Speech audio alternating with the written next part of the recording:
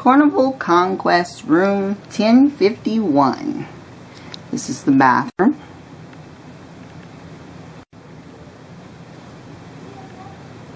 Shower. Toilet. Me, hi me. And you have your closets over there. And the man of the cabin for the evening. Little desk.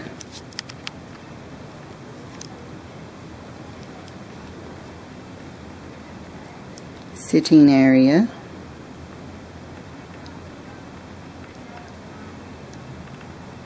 Where the magic happens.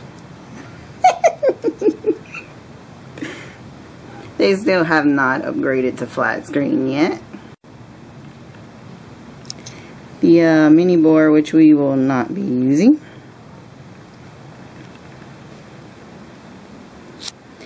And over here we have the balcony room slash ocean view thingy. We go outside.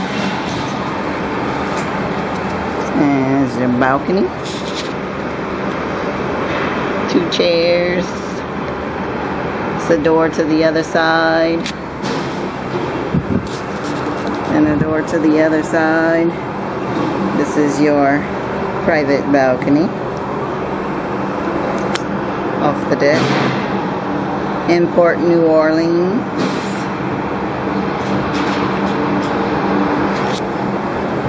Back inside.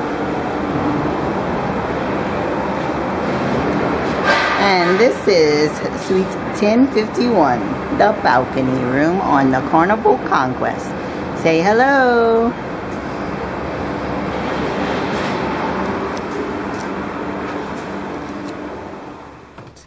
Okay, that's it. That's room 1051 on the Carnival Conquest. I have no arguments with my room. I enjoyed it. I really didn't feel the boat rocking much from the waves. Um, one of the guys that I talked to when booking it, he said if you can get towards the top of the boat, close to the middle of the boat, you'll feel less rocking going on in the boat from the waves. Um, I enjoyed my room. I really had no problems with it. I would definitely say spring for the balcony. Uh, I know it's a few extra hundred dollars, but hey, you on a cruise, you just so soon enjoy yourself. You know, take that couple extra hundred dollars, make sure you get the full experience.